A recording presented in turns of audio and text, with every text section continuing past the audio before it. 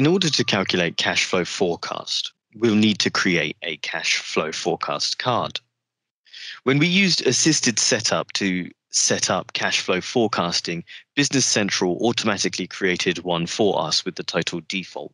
However, if we wish, we can set up more than one cash flow forecast. If you go to the relevant page, cash flow forecasts, we can see that our assisted setup did indeed create a default cash flow forecast for us.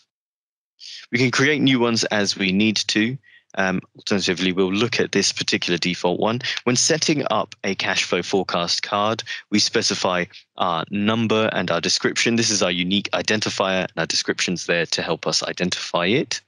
Um, we have a number of consideration fields where we can specify certain con- conditions to consider so to allow us to mix and match between multiple forecasts in case there are particular details like consider discount that we do not want to consider within other cash flow forecasts. We also are able to specify the date range that we'd like to use to consider our manual payments and also for our GL budgets. With this set, we are able to continue forwards with analyzing and reviewing our cash flow forecasts.